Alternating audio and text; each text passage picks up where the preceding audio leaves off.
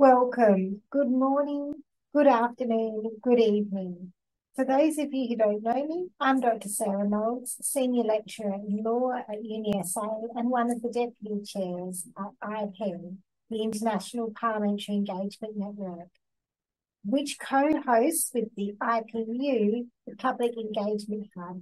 And it's my pleasure to welcome you to this seminar on From Georgia to Indonesia, Legal Frameworks and Meaningful public participation. I'd like to acknowledge that I join you from Kaurna land and pay my respects to the First Nations peoples, elders past, present and emerging, and acknowledge the authority of any Aboriginal people in the audience today. This seminar is part of a series of seminars that explores issues of global public engagement with Parliament, following the publication of the Global Parliamentary Report on Public Engagement last March. Before introducing today's topic in more detail and introducing our wonderful speakers, just a few housekeeping rules. First of all, the seminar has translation available in French and Spanish through the interpretation button at the bottom of the screen. Can you please keep your mic muted when the speakers are presenting but it's lovely to have the cameras on so we can see your smiling faces. And at the end of the presentations, there'll be the opportunity to ask questions and you can use the raise hand function um, in the reactions button, or you can include your uh, question or comment in the chat function. Now, before I introduce our two wonderful guests, can I please invite Tamar Chugoshvili from the IPU to say a few words about a wonderful comparative study her team has been working on, summarising legal regulations related to public engagement based on examples from 30 different countries. And once we hear from Tamar, we can move on to the seminar proper. Thank you. Okay, perfect. Thank you very much. Um, so public uh, engagement hub, um, in public engagement hub, we have um, decided to look into how laws, constitutions, and rules of procedures of parliament really regulate the pu public engagement in the, um, the public engagement issue. And uh, even though in some countries uh, the tradition is very important and uh, many parliaments rely on traditions that exist there, in most of the countries, legislation is the key. And the legislation, constitution, and rules of procedure um, they secure, they guarantee the um, citizen access, public access to um, parliamentary work. And we wanted to take a look um, at different countries and see what is really um, uh, happening and how is this how does this regulations work. And we have um, uh, conducted the um, uh, this research, we have looked into this constitutional and legal, legal articles in 30 countries across six continents. So on this slide, you can see um, those countries which uh, have been analyzed and uh, these findings that we will present uh, now are based on these, um, uh, are covering quite a broad representation of countries and, and continents. And we think that this can be um, uh, understood and seen as an um, uh, representing the uh, overall um, uh, legal background, and this is how things are probably regulated elsewhere as well. This is a uh, this is a quite a representative sample in our understanding. Uh, what we see from this research is that uh, while there are legal bases and functions um, uh, in most countries for um, information disclosure and consultation in many countries, interactive communication and education uh, basically lacks, uh, lacks uh, legal backing. I should also say that um, taking into account that uh, 2022 Global Parliamentary Report um, about public engagement in the work of uh, Parliament classifies public engagement in five key Hello. These are information, education, communication, consultation, and participation. So when looking into this uh, uh, survey and when doing this comparative research, we use the same standard. So we have classified these the articles in the uh, uh in the same um, order.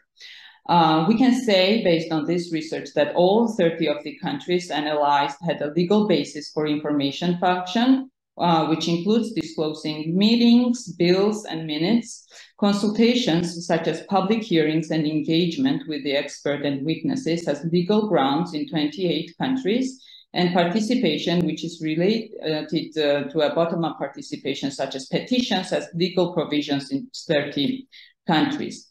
However, other than um, uh, for visitors, uh, uh they, uh, there are a few legal provisions for communication, which um, uh, emphasizes interactive communication. There is no, and what is what is even more interesting, there is no basically a legal legal regulation of education, even though uh, it is work that is done in uh, basically all the uh, uh parliaments that uh, we know. So there is some practice of education everywhere, but this is usually happening without legal regulations.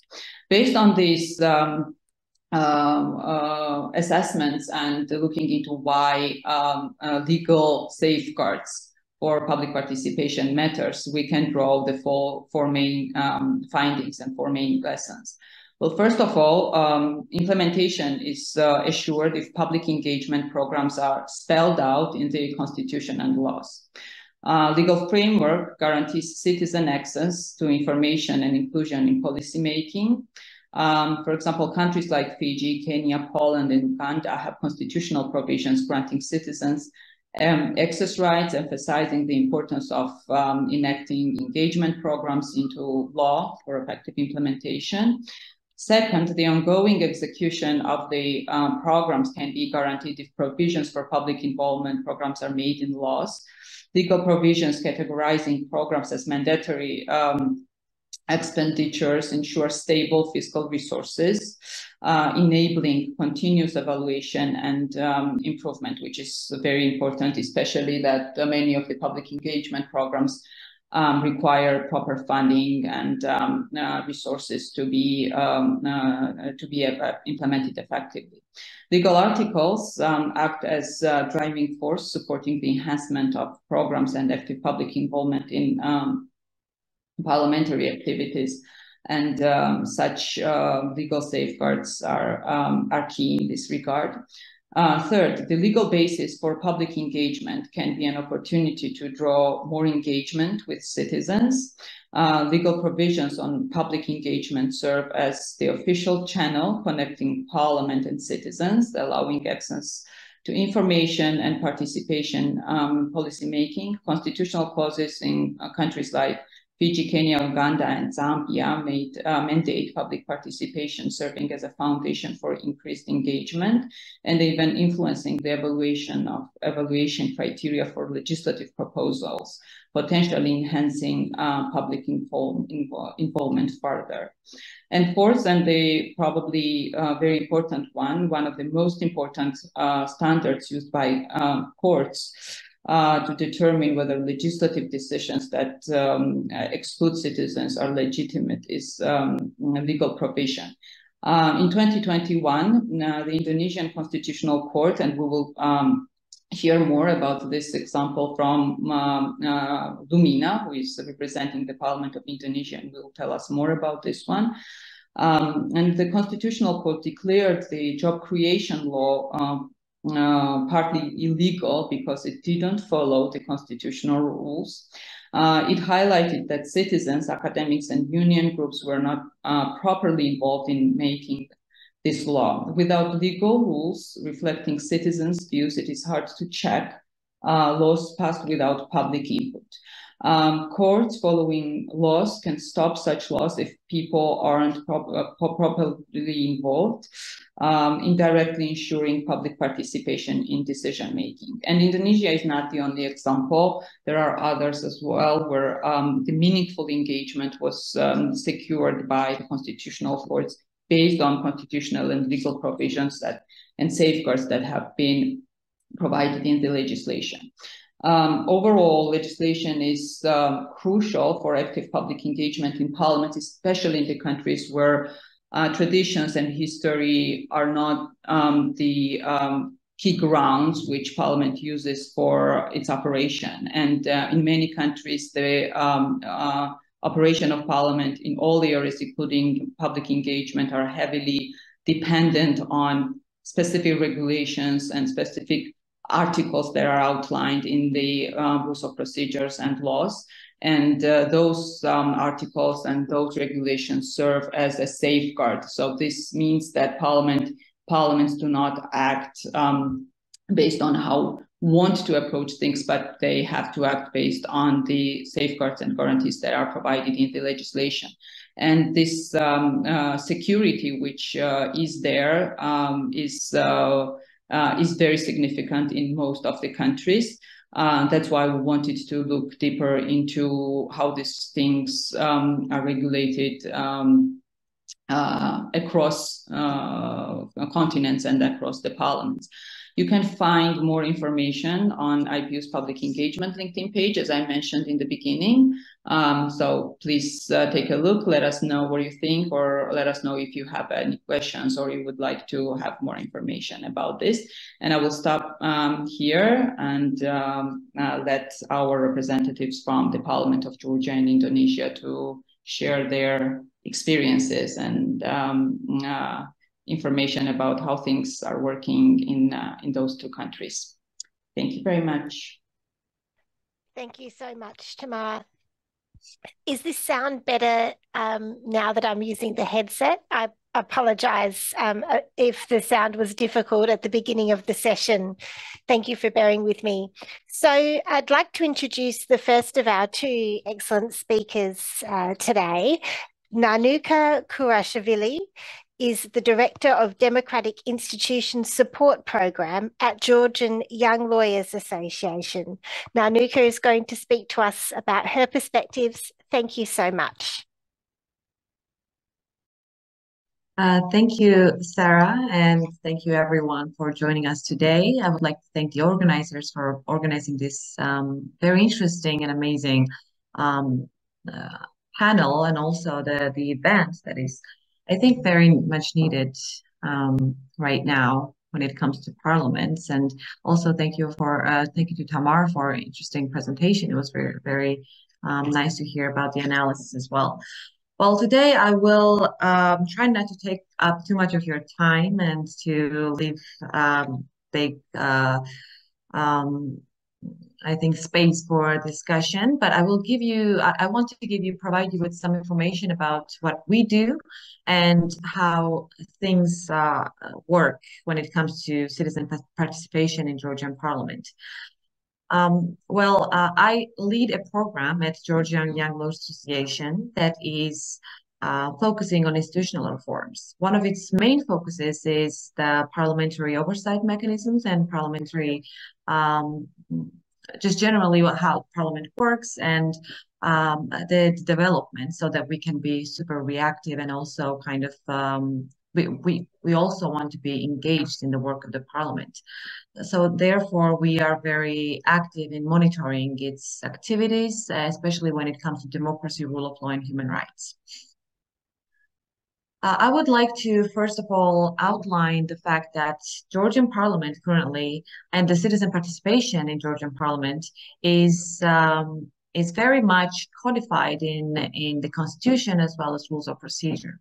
So uh, this is, I think, is very very important when it comes to guaranteeing citizens' rights to be engaged in very important policy decisions when it's made uh, on the parliament level. However, um, there are some issues when it comes to citizen engagement in Georgia, and I will dwell into it uh, at the end of my presentation. Um, but uh, before that, uh, I would like to outline the fact that Georgia started to uh, be more active, even, even more active with the citizen engagement in the parliamentary activities um, after 2017 when we had uh, the constitutional, we adopted constitutional amendments. And also during that time, and especially uh, in the uh, after 2012, uh, 10 and 11, uh, we became part of the open governance um, partnership. And open governance partnership was very much um, supportive uh, of uh, inclusivity in in the parliament in decision making process and lawmaking.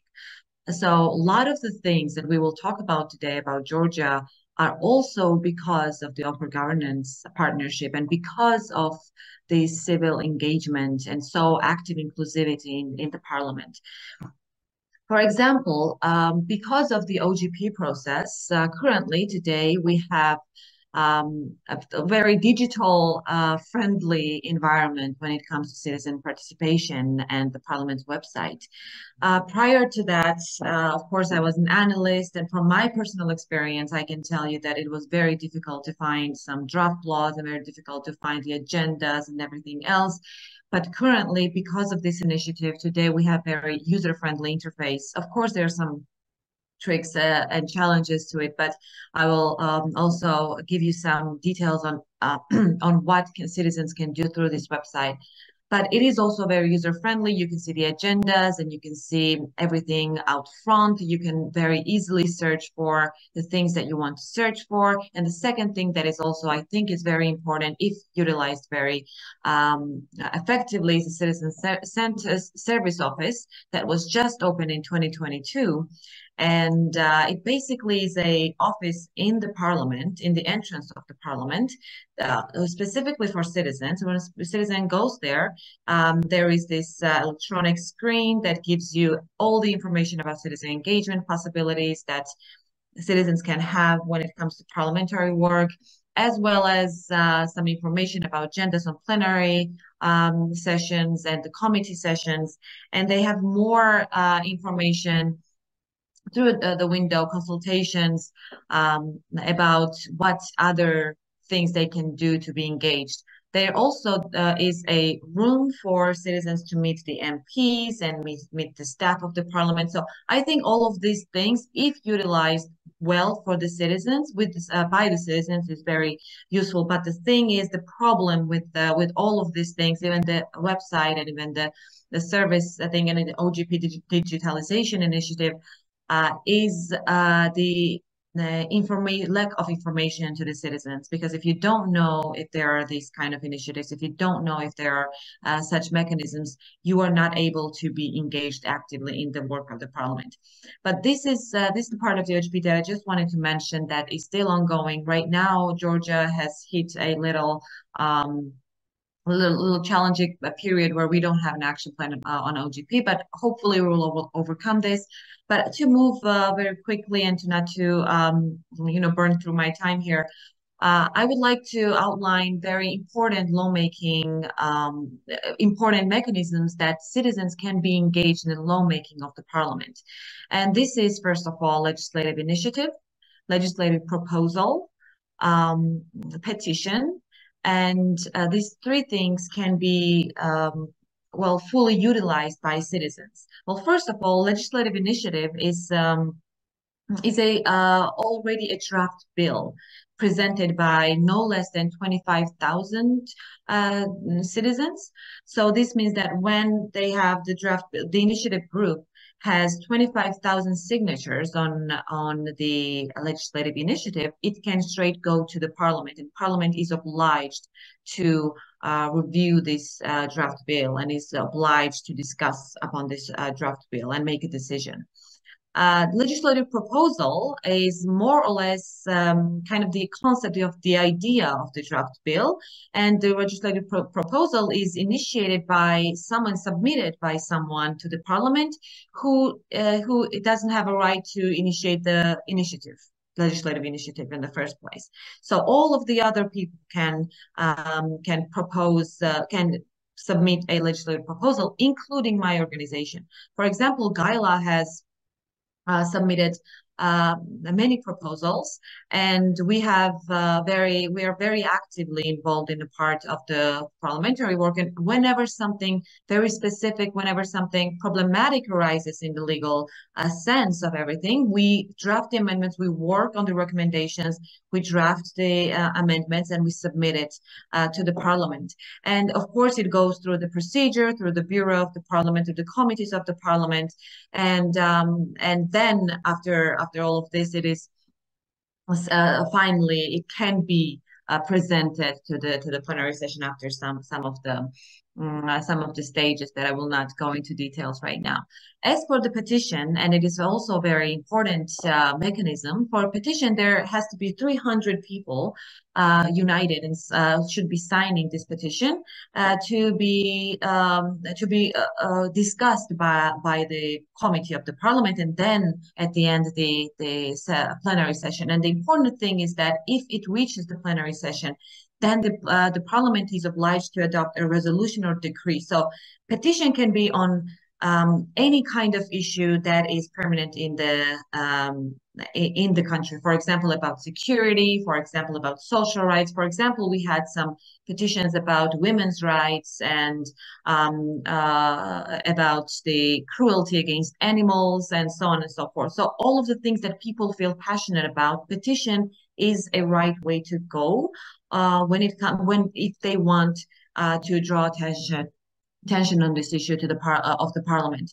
And uh, important thing is also is that the, the citizen is able through the website or through any any other form through the emails that are all very public in the on the website to uh, ask the mp and present their idea to the mp and ask the mp to um, raise this issue in the parliament. So also this is a very important mechanism for them.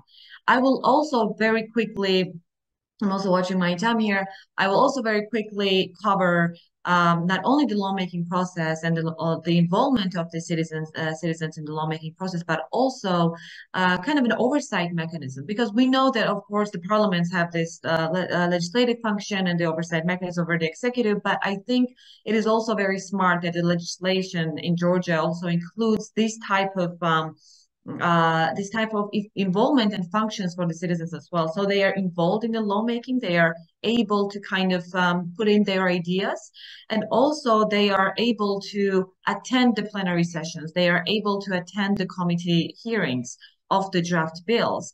So when they are when they are attending committee hearings, and this is very easy uh, procedure um, it is very easy procedure for them to just go onto the website or call the, the parliament hotline, for example, uh, if they cannot access the website and um, and there is a point person for giving a pass um, uh, for for this person to attend the committee hearing.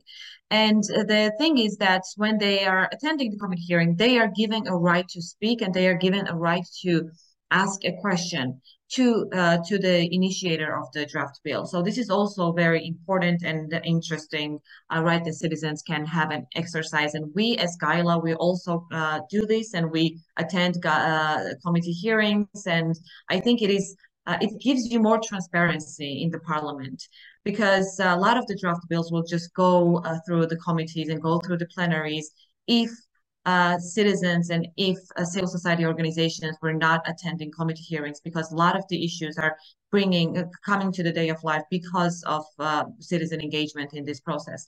And um, i would like to also outline some very um, interesting things and practice, um, good practices that we had about citizen engagement. For example, in 2019, and this is uh, what I've talked about is uh, codified in law, right? This is codified in the constitution and rules of procedure of the parliament. But um, alternatively, we also have good practices that is just uh, based on uh, the goodwill of, uh, of, of the political parties. And one uh, very interesting um, instance that I can remember is in 2019 when the Supreme Court judges were interviewed in the in the Parliament, and this is the procedure for Supreme Court judges to be appointed. And one of the stage was the interviews in the legal committee of the Parliament. It was very uh, it was public and also uh, people, citizens, were given the right to submit their questions to the judges, and the head of legal committee was able to read out the questions to the Supreme Court judges. So this is, I think, very unprecedented uh, moment when the Supreme Court judges are interviewed by the citizens, and they are given the chance to answer the, and uh, to ask questions to the Supreme Court, uh, possible Supreme Court judges. So this was a very good example of how how Parliament can exercise goodwill and ad hoc kind of um, engage citizens into into this um, into this process. Um, I would also want to outline one very good practice that we used to have, but we don't have anymore. It is the parliamentary um, uh, parliamentary secretaries. So each organization that that exercises, not each, but a lot of the organizations that have the function of monitoring parliamentary activities, such as GYLA, um, we used to have in uh, parliamentary um, secretaries. Well, GYLA, uh, we don't have parliamentary secretary anymore, but this is for the institutional reasons. But recently, uh, because of a very tense political uh, situation in Georgia, unfortunately, the organizations that had parliamentary secretaries based in the parliament, uh, and this was based on the uh, agreement between the organization and the parliament, uh, are no longer there. Their accreditation was um, no, they they were actually um, put out from the from the rooms that they had in the parliament by the reason of the fact that the parliament was under this room was under construction. Of course, a lot of time has passed and nobody has reached out for them to return uh, and continue their work as a monitors. But parliamentary secretary is a very important um, important aspect of the parliamentary work when it comes to CSOs, and we believe that having someone uh, having someone who has a permanent pass. So you don't have to call up parliament every time you need to go to parliament and observe the situation. Uh, organizations have um, have uh, specific offices in the parliament or if they don't they have permanent passes to the parliament so they can go through the security and go through this process very easily and their uh, their um, uh, job description is basically observing and uh, um, assessing the parliamentary work in every regard, with the social aspect, with the healthcare, with with every kind of work that they do. So. Um, I think having parliamentary secretaries is um, is a very good professional level of engagement of the CSOs in the in the parliament, even though currently we are experiencing some kind of uh, challenges in that regard. Um, well, I would stop here. Yeah, and um, thank you for listening. Uh, and think, if you have any questions, I'm here to answer. Thank you so much, Nanuka. That was really wonderful. And I'm sure there will be some questions that we can field at the end of the next presentation. I'd like now to introduce Lamina Mentari. Lamina is an expert staff for the Open Parliament Indonesia of the House of Representatives of the Republic of Indonesia. Thank you so much for joining us, Lamina. And I will pass over to you. And Lamina has a presentation that she's going to share her screen for.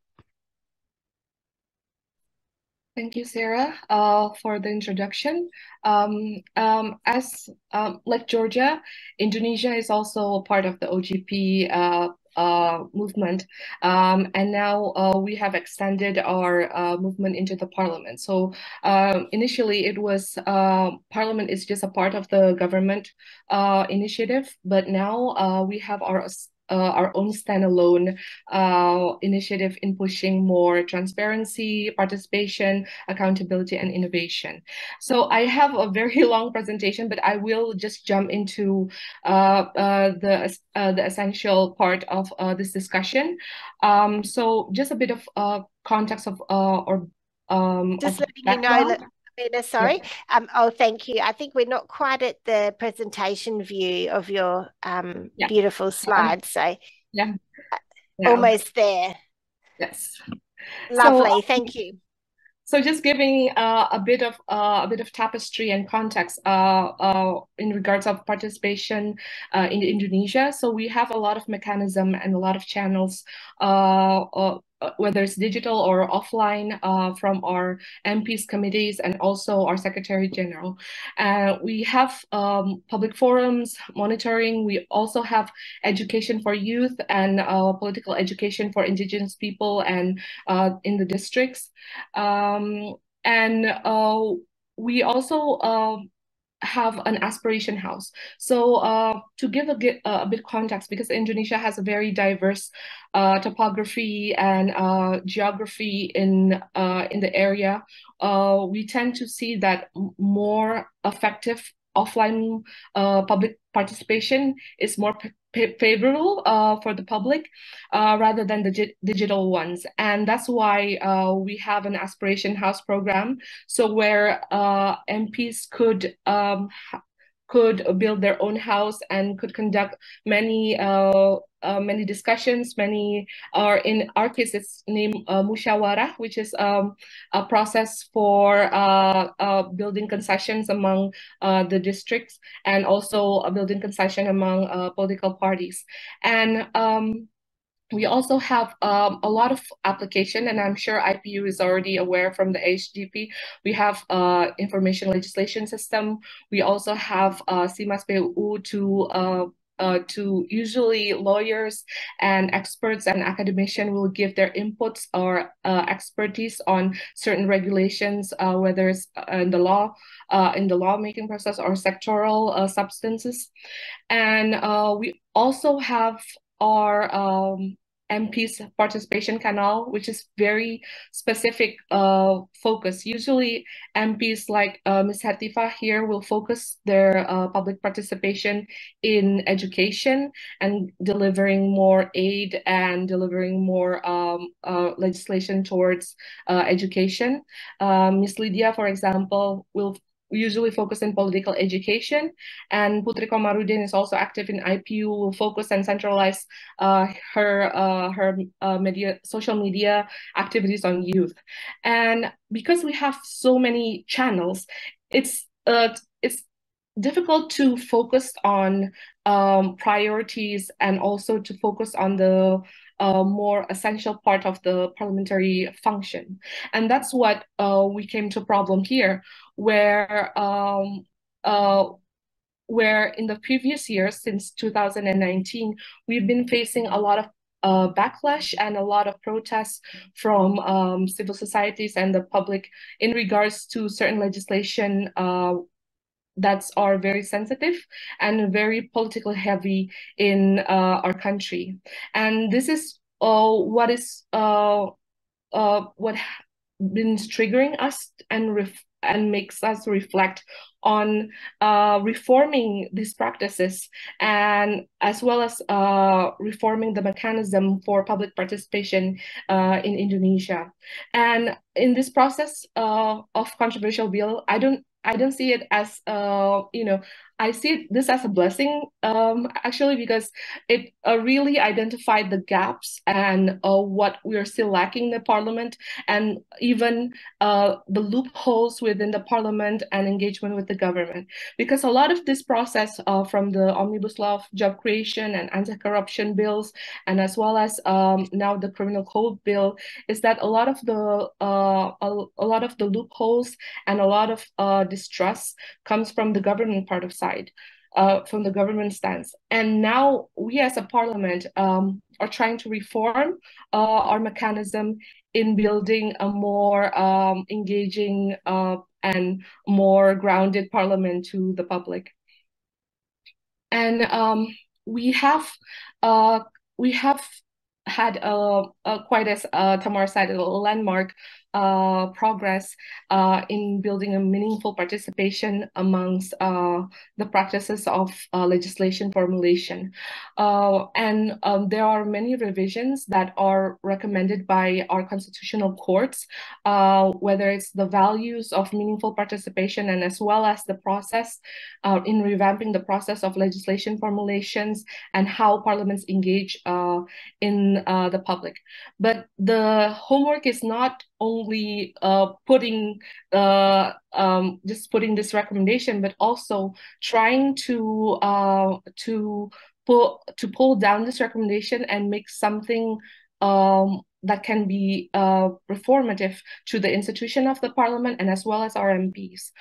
And this is why um, we we're in, uh, in the Secretary General and as well as the Parliament have uh, conducted um, many assessments with our CSOs and as well as um, experts uh, in this business. Uh, and we have formulated an inter internal regulation as a start to building a better uh, uh, public engagement process. And from that process from uh, the constitutional courts of law and now uh, we've seen that there there has there's still uh, a misconception amongst uh, parliamentarians and as well as uh, the public into the definition between aspiration and complaint and complaint. Because sometimes when um, the public um, put their inputs in uh, our MPs or in uh, the channels or in the canals, um, it's very mixed. So um, they will complain about anything and everything, and the discussion will go everywhere. And uh, this is why. Uh, uh, when we try to define this uh, this process and this uh, and and the terminologies uh, for uh, this mechanism, it's very essential uh, to building a better process. And this is um, with the help of uh, uh, our CSOs. So our CSOs and PMOs has helped uh, us build a better mechanism uh, for uh, a better engagement system and uh, public engagement system. Um, so in between, in um, delivering those changes, there have we have divided our jobs into four into four categories for absorbing, collecting, accommodating, or processing, and uh, follow up. Follow up, and uh, we've seen that there's been a lot of bottleneck and a lot of gaps within these uh, four functions uh, when it comes to engaging inputs and parliamentary engagement because a lot of uh, citizen give input, but sometimes our MPs have not have the time yet to respond or have not have the time to address uh, the in, uh, all of the ideas or the inputs or the complaints of the public. And uh, we've uh, mapped uh, where the problem lies. It's usually um, whether it's administrative problems or if it's in the system problem, or if it's the MPs who are unwilling to address this uh, uh, their complaints and these issues. So that's why um, we have um, uh, we have tried to identify how we can make a, a better business process uh, between uh, uh, engaging uh, these inputs and also engaging the MPs and and building a better internal policies um, so that MPs could uh, uh, could have a better response system and response mechanism to the public, and um, I think that is also important uh, to consolidate uh, this aspiration. Uh, usually we have an aspiration day uh, where uh, every day in a week we uh, we focus on um, the aspirations of the people. And um, we usually involve a lot of CSOs and NGOs in that day. But um, now uh, we're still finding um, like a rhythm into the scheduling of uh, our MPs and the scheduling of our uh, uh, of other agendas. So that's um, that's like um, uh, still the, the the gist of the problem. And as I said before, um, we also uh, conducted a, um, a study uh, whether the public prefer uh, a more digital engagement or a offline engagement. And Indonesia is still uh, prefer uh, a more uh, in offline or a direct engagement with MPs and institutions. So they need to have a person or uh, a human to engage them with uh, the issues or to hear their complaints. And usually they will come to the parliament or they will uh, conduct uh, a meeting with our MPs.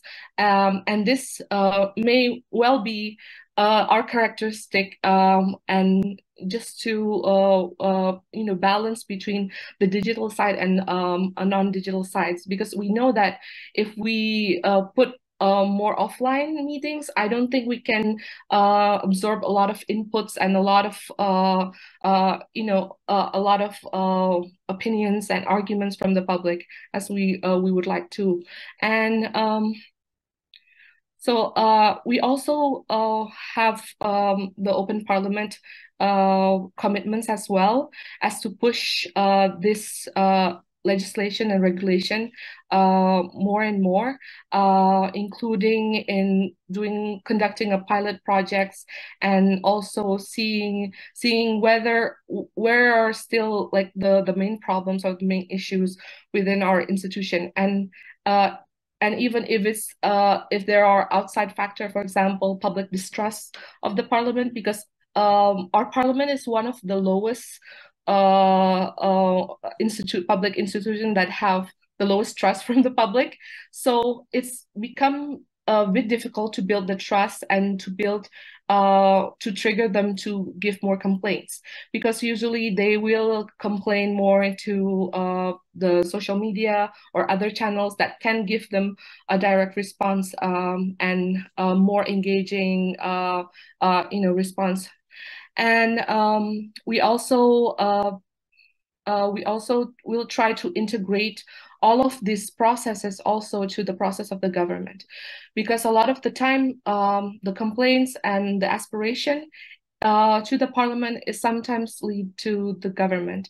And i know this because um, uh, it may be very different from other european countries because indonesian is a, a presidential uh, system so uh, there, there sometimes is a gap between the government and also the parliament, uh, whether in its coordinations or uh, operational works of uh, of uh, governing. So sometimes the public will uh, try to complain about the roads that are not working, or the roads or plot potholes, or about environment. It is something that's usually handled by the local government or um, the uh, the central government, and then we usually send them to uh, to their government, but then again, the response and um, mechanism sometimes um, lost along uh, these chains of, uh, you know, uh, uh these chains of uh, mechanism. So um, I would like to also uh, point out uh, this is just a um, just a quick draw uh, because a lot of uh, our uh, problems with participation also is because um, a lot of youth are not uh, representing uh, uh, in the parliament. So we have a very low uh, youth representation that hopefully will uh, uh, will be uh, you know better in the next election, and this is why our parliament sometimes do not represent the majority of the public in regards to to demography and in regards to uh, you know priorities of issues. And um, that's why uh, we are still very much pushing on um, on a youth uh, engagement and youth participation. And um, there are uh, further uh, recommendations and further changes that that needs to be fixed in in our parliament especially in regards in engaging more of the public in regards in engaging the youth and as well as um, building this dynamic of and uh, paradigm of openness because um, sometimes a lot of the complaints um, are usually uh, by people who are able, for example, or by people who can speak Indonesian.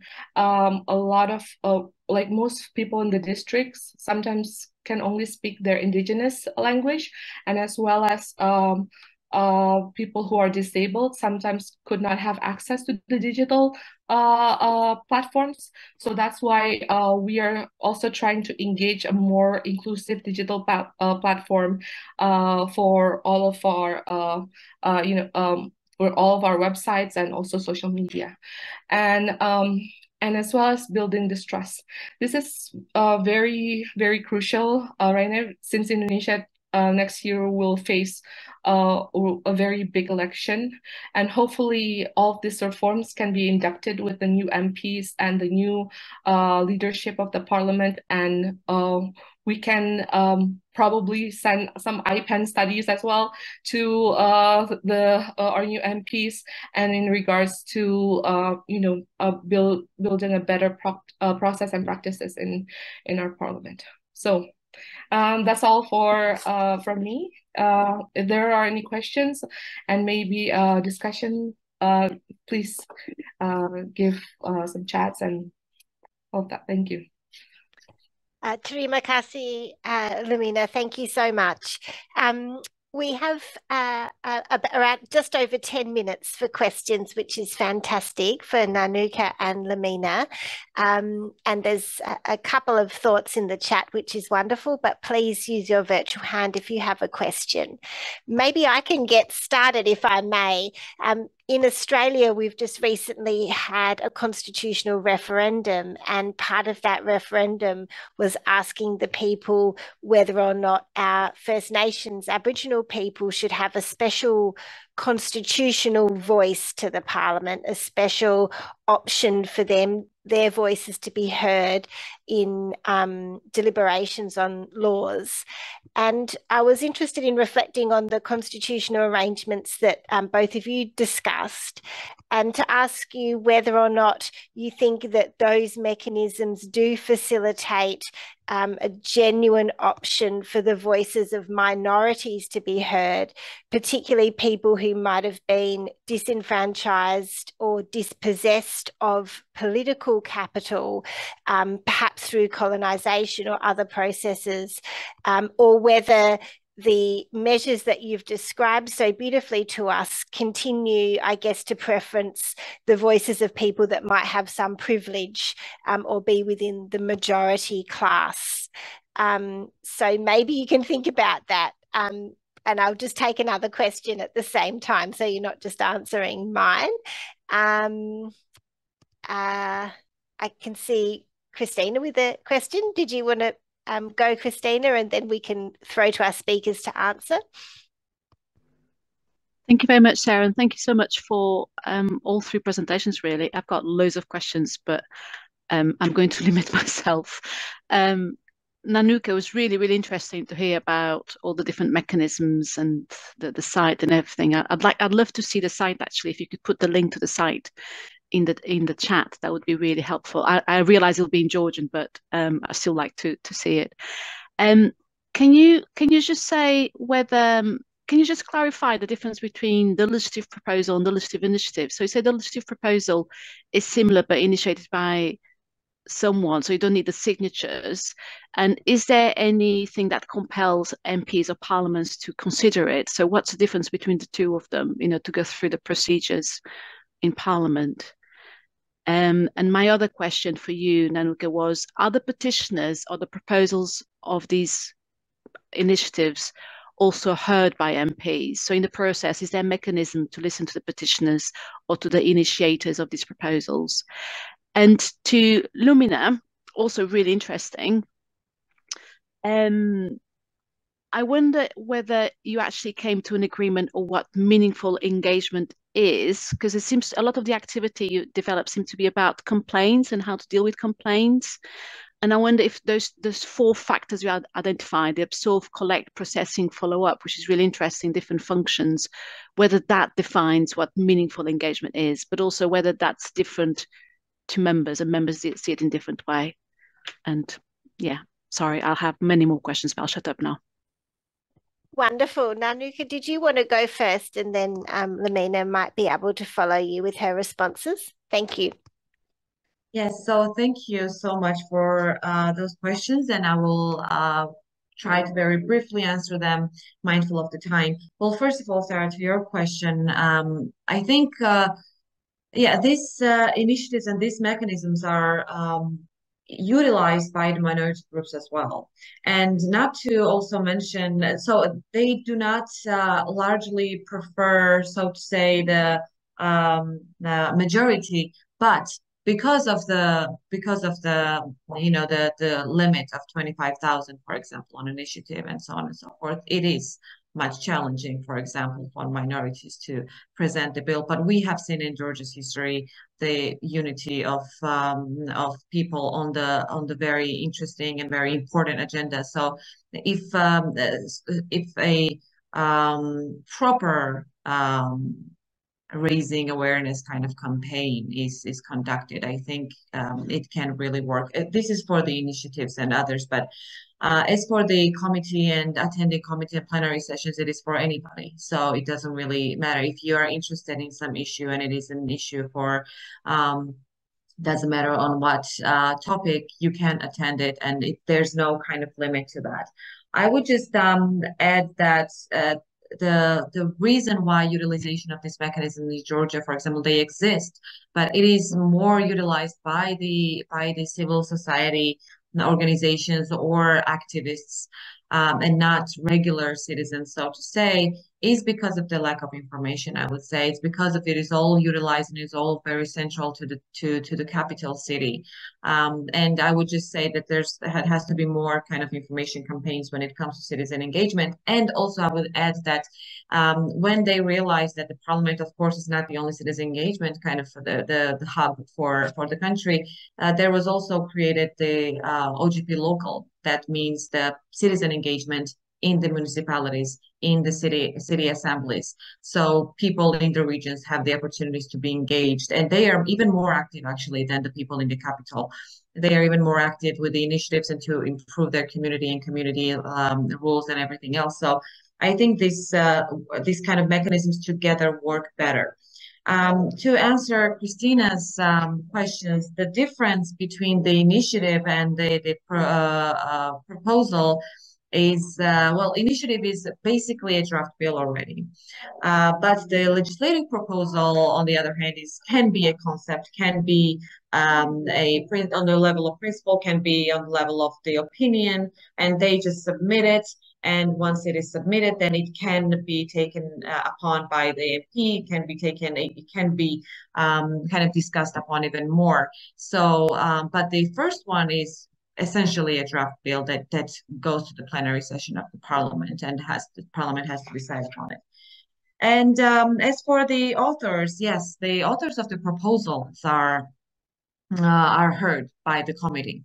For example, if GYLA uh, initiates the proposal, we have a right, yeah. and uh, the, the chair of the committee can call upon us and ask for our opinion about uh, draft bill. So we can uh, we can stand in the committee on the podium and uh, actually um, give reasons why we think that this draft bill or this proposal should be considered by the parliament. So yeah, thank you. Thank Thank you. And uh, Lamina, I see you've got a, an additional question now in the chat um, that uh, a follow up question to your um, discussion about the developments that happen in the context of the law of on job creation legislation and asking whether or not the reforms that were agitated then have flowed through into subsequent practice. So I think you're now at about four different questions, but I'm sure you can take it away and, and respond to some of them. Thank you. Yeah, um, thank you. Uh, I, I think I'm um, I'm just uh, turning off camera. So, sorry. Um, so for your first question, Sarah, um, I think it will be useful um, to build um, a constitution among uh, the indigenous people, and we we've we we've can conduct um, some formulation as well in uh, in Indonesia, but unfortunately, uh, because it all all also depends on the context because uh, in Indonesia there's um, like thousands of indigenous groups, uh, right? And when trying to accommodate um, and trying to build uh, rights and um, uh, uh and uh, in placing uh, legislation among them, uh, it, it can be quite uh, you know controversial because there are all a lot of uh, conflicting interests and as well and um, and a lot of different historical contexts. Um, so that is just like uh, what maybe uh, in the specific context of Australia or New Zealand, it, it might be uh, a bit different.